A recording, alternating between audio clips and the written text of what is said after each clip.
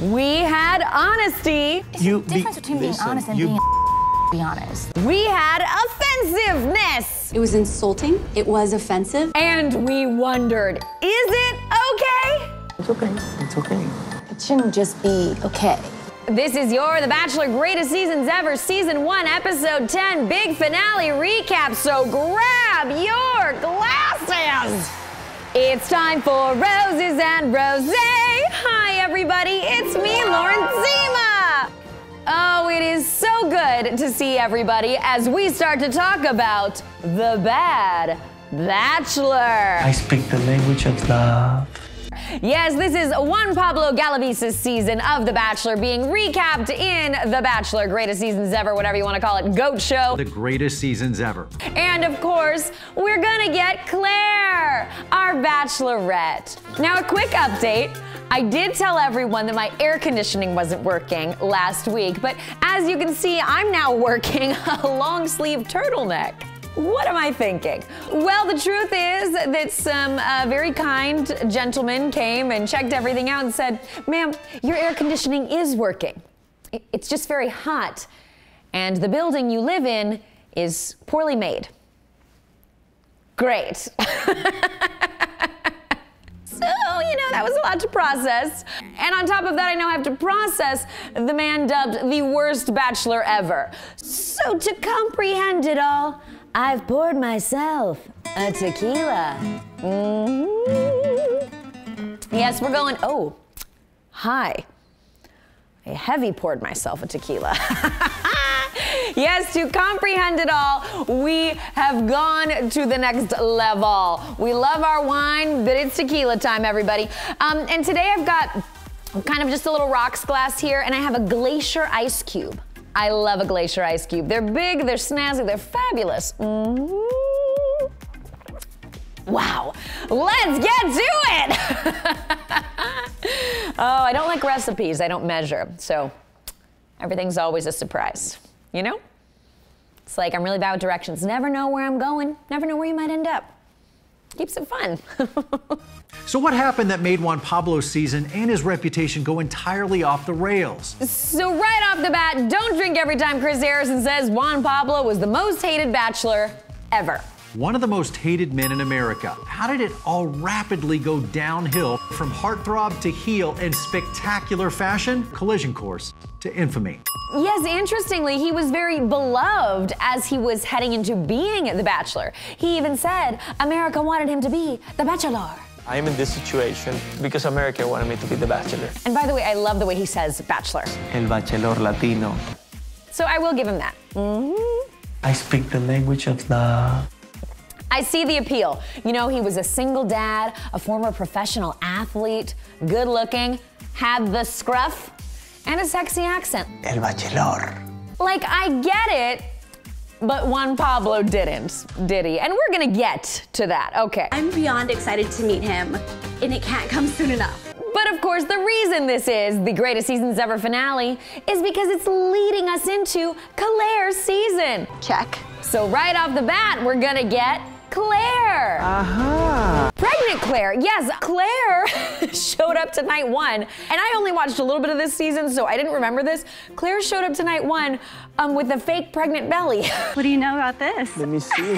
and this was like 2014.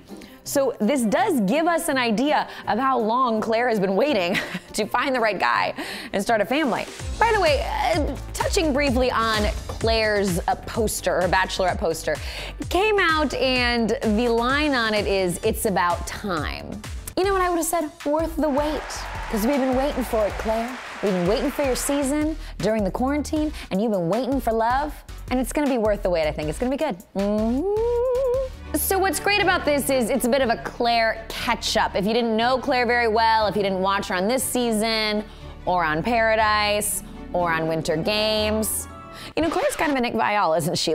Let's drink for every franchise show Clare's been on. Mhm.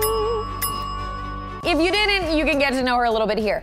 She's the youngest of six women in her family, and she did lose her dad to cancer. So she talks about the importance of her dad. My dad was a wonderful man. He even made a DVD that she has never watched for her future husband to watch one day before he died. I have not seen it, nobody's seen it, but I'm saving it for the right man to watch it. The question is Is Clare engaged right now? Has someone watched that DVD? I want to know. I can't wait for the season. I just can't, can't wait. I just can't wait. I just want to, want to watch it right now. I just want to see it all happen. I don't want to post it. I want the actual episodes. Wow. Um, this is essentially a shot, I think. Maybe two. I don't know. What's in here? Kind of just tequila and lime juice. and you know, again, reviewing Juan Pablo's season is about renewing our love for Clare. Drink every time Chris Harrison says we're gonna get to talk to Clare on this episode. Clare is here from quarantine. Clare will share some top secret details. We'll hear the surprising lessons she learned from being with him. And later, our next bachelorette, Clare, joins us and fills us in. And what did Clare have to do with it? So I'm just gonna say a bunch of stuff happened, and now we're at the fantasy suites. Ay, ay, ay. Drink for everything I fast forwarded.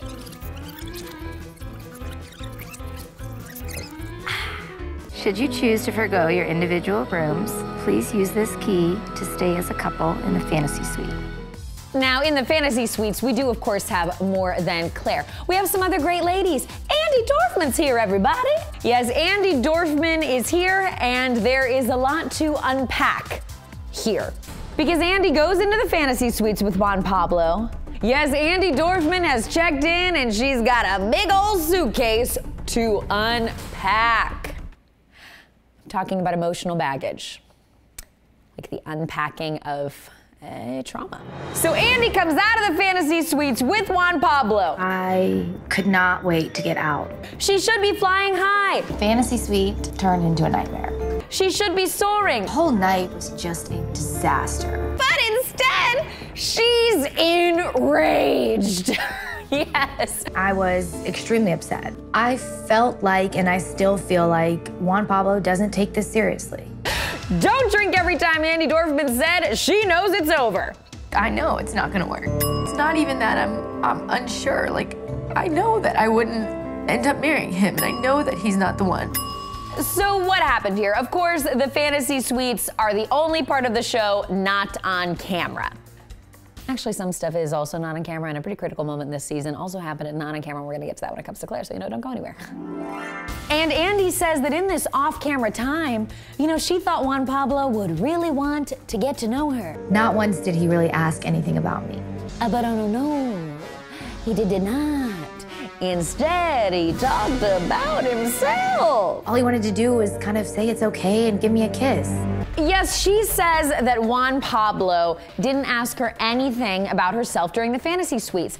Now, she also says that ultimately she feels like he doesn't really know her at all. So crazy to think how little he actually knows about me at this point. So I will say this. That's a big red flag. It's not like you got dropped in the fantasy suites. If he doesn't really know her at this point, that means he also wasn't asking her questions about herself during all the time they spent together. So I will say Andi should have dumped him sooner. And I'm not blaming her. I'm not saying she's at fault here. I'm just saying let's all learn from this situation, you know? If somebody's not asking you questions about you on date one, bye. Any relationship needs to be a two way street. Who likes a one way? Nobody. They're annoying and make you go in circles. Do you know what I'm saying? Obey the rules of traffic? And also use your turn signals. I've talked about that before. I don't like when people don't do it. Communicate. But we love Andi. She's a strong, intelligent woman, and she is going to confront the Bachelor. El bachelor latino.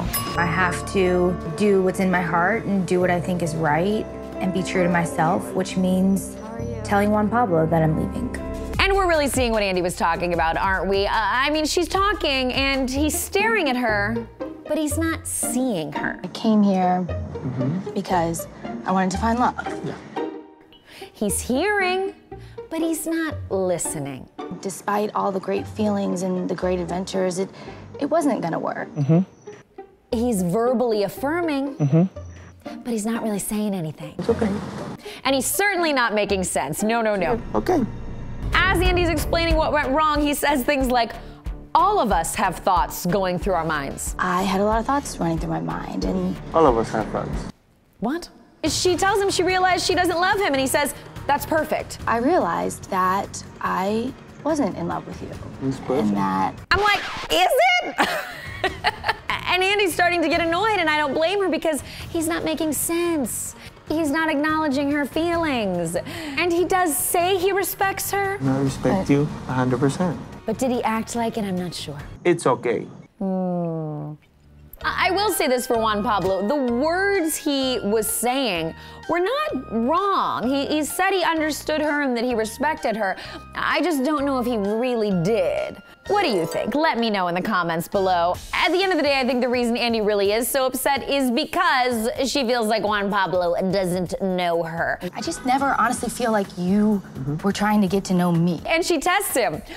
Don't drink for everything he didn't know. Have any idea, mm-hmm. like, what religion I practice, what my political Hey. views are, what my, hang on, what mm-hmm. my, you know, views mm-hmm. on social issues, things that matter? Do you have any idea how I want to raise my kids? Do you have any idea about any of that? I have no idea about any of that. And then he tests her back, and she aces it. What's my religion? Catholic. Things are escalating, so don't drink every time they say honest. I'm, I'm being it's honest. Not fine Hey, to I'm me. being honest.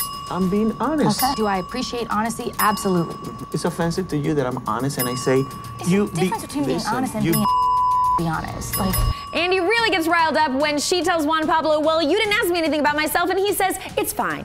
I- I've never been with someone who's asked me so little about myself. Uh, it's fine. Is it? It's not fine. It's not. And that's when we get into It's okay. But if you don't feel it, Andi, it's okay. Yes, Juan Pablo loves to say, It's okay. It's okay. It's okay. It's okay.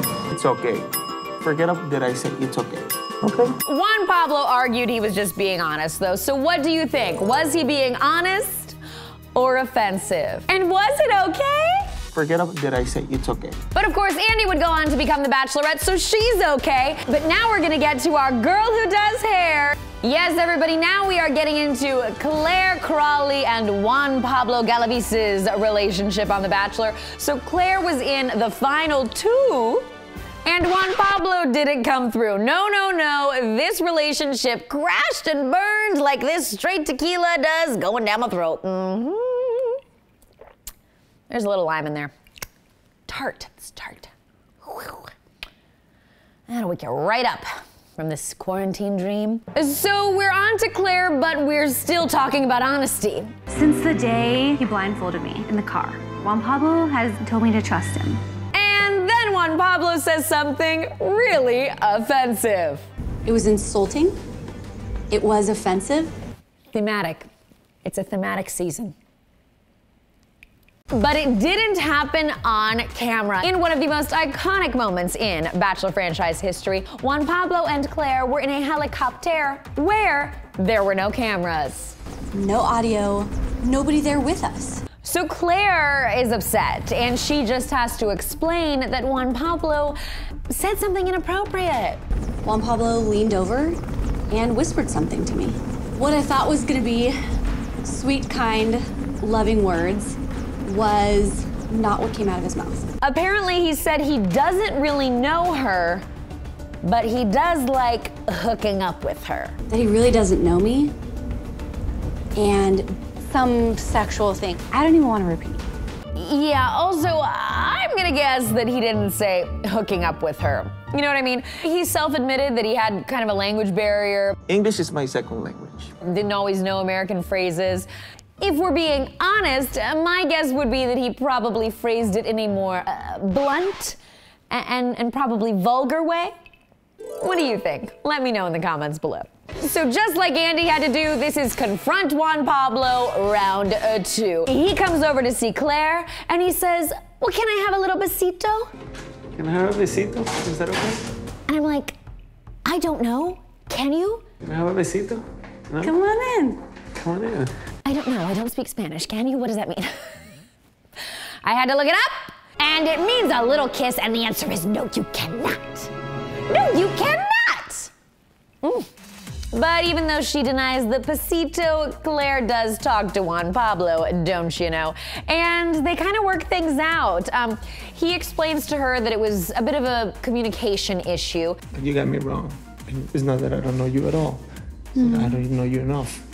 That you don't know me enough. That he didn't mean he doesn't know her, he just meant he needs to know her better in order to get engaged. And he tells her that she's really special to him. Because I want you to be here.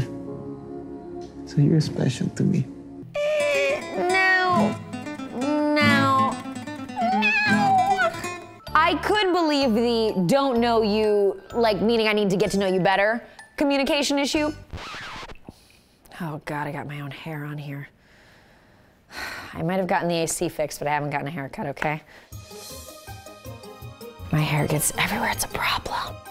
But let's break down something here, because just like Andi kind of missed some red flags with Juan Pablo, I think Clare missed one as well. When are we the most ourselves? When no one's watching.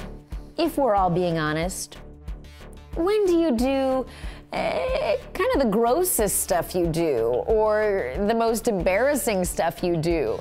The things you don't want anyone else to see? When no one is watching. So when the cameras were down, and Juan Pablo had the chance to really be himself, what he chose to tell Clare was that he liked hooking up with her.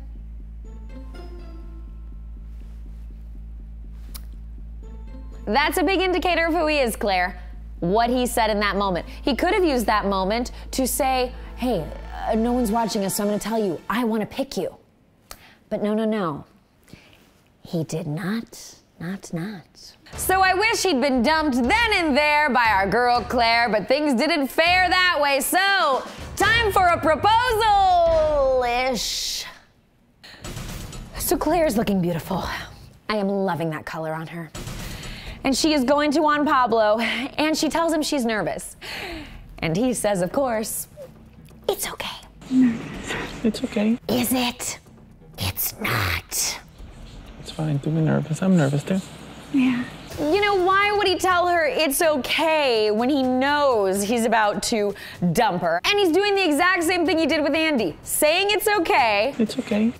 but not listening and not making sense. Because I believed in you. Mm-hmm. He dumps Clare and she says, I thought you were the man of my dreams. And he says, Me too. I've saved this moment for the man of my dreams. And I thought that was you. Me too. Why would he say that if he's the one dumping her? It just doesn't make any sense. You are not being wronged here, Juan Pablo Galavis. El bachelor. And that's what makes me think that with these women, instead of listening, eh, he is hearing. He keeps waiting for her to stop talking. For you to sit there and tell me that you can see yourself in Sacramento, that you can see yourself we got together, I can see have our babies. You know, he keeps almost jumping in. I mean, at one point, he just makes a noise. And I thought I knew what kind of man you were.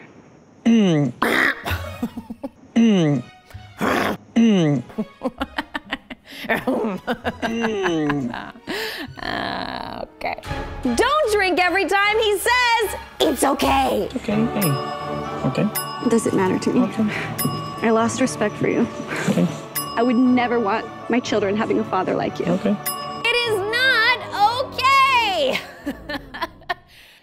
Dumping a woman who you had just talked about having kids with. It is not okay. Like maybe before with Andi, it was kind of okay, If you don't think it's me, it's, it's okay. but now it's really not okay. Anyway, you can see why Juan Pablo was known as the most hated bachelor. Whew, I'm glad I didn't pick her.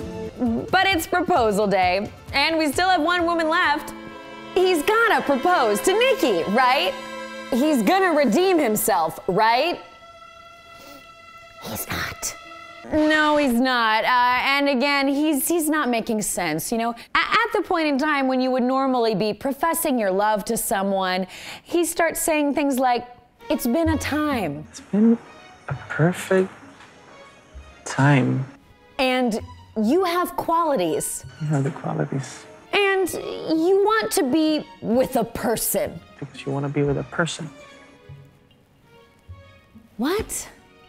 Ultimately, he tells Nikki he likes her a lot. I like you a lot. A lot. It's not okay. It was not okay. He asks her if she will accept his final rose, Will you accept my final rose? And she does, but uh, don't drink for this uncomfortable face Nikki makes as she decides.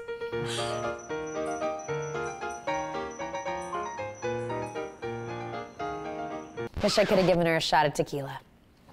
This one's for you, Nikki. The problem with Juan Pablo is that he never redeemed himself. I mean, if we look at some of the other disliked bachelors, Jason Mesnick made a mistake but wound up with Molly and they're happy. Arie made a mistake, but he's now with Lauren Burnham and they're happy. Juan Pablo and Nikki stayed together for a little while. Um, at the after the final rose, Chris Harrison asked him, Well, are you now in love with Nikki? So you love her. And not only was he not, but his response didn't make sense. So you love her. I'm not gonna answer that question to you. Juan Pablo said to Chris Harrison, I'm not going to answer that because you don't say that to people in relationships. I'm not gonna answer that question to you. I don't I don't get it. This is real life, you know, and when when you're with somebody, you don't say you love her or not, if you are there or not. What?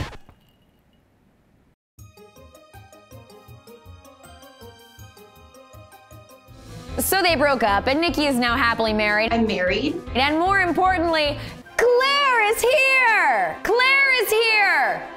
Clare is here! oh, God. No! No! No! No! No! No! I gotta, I gotta doctor this up just a snuggle. Yes, from quarantine on the set of The Bachelorette, Clare is joining Chris Harrison for a Zoom. Uh, he says that she was already there. Of course, he would have to go to the set. You are in quarantine because we are about to start shooting your season of The Bachelorette. But Clare was there. Clare is here. And what's interesting is that now that we know that at one point Tayshia becomes the Bachelorette, I am hanging on every word for clues. Don't drink for everything that felt kind of ominous and possibly indicative of something happening, even though these two were talking before filming had begun. Chris Harrison says if he does his job correctly, she'll find love. And hopefully about to meet the love of her life if I do my job correctly. Did he? And I love hearing from Clare. Uh, she says she's gone through a lot and she loves herself. And as somebody who has gone through a lot and learned to just love herself, And she could not be more ready. I could not be more ready for this. Clare is ready. She says the most important thing to her is getting to know the person. Real one on one connection and just having the time to get to know each other. So did she? Oh my God, I'm exhausted. Getting 10,000 steps doing this show. I mean, Chris says she'll probably be engaged. You're going to probably be engaged. Is that wild to think? So is she? Let me give you a tour. Let me give you a tour here. Oh, and then we're moving, we're vlogging, we are on a tour. Clare is showing us where she is staying for the show. She's showing us everything. It's kind of chaotic. She's got her dogs and she's got some crystals, Here are my crystals. good energy, and her bed. This is where the magic happens. Oh, fantasy suites. And it's all happening, and the episode is over. And I'm so glad that we wrapped things up with Clare because we are going to start things again for her season. October 13th on ABC, the new season of The Bachelorette premieres. And of course, we will be recapping and reviewing it for Roses and Rose. Remember, it airs on Tuesdays this fall because the pandemic threw off the schedule. They have to not conflict with Monday Night Football sports. And The Bachelorette is going to be on Tuesday. So we will see you guys every Wednesday for Roses and Rose covering the night before's episode. Thank you guys so much for watching Roses and Rose, The Bachelor, greatest seasons ever of all time. We love you so much. And so much has happened during quarantine. Chrisanne got pregnant. She's having a little baby girl. Maybe one day a future Bachelorette. We don't know. And JC, looking back at these seasons has made me remember, of course, it's been you and me on this show from the beginning. How ready are you for the new season of The Bachelorette?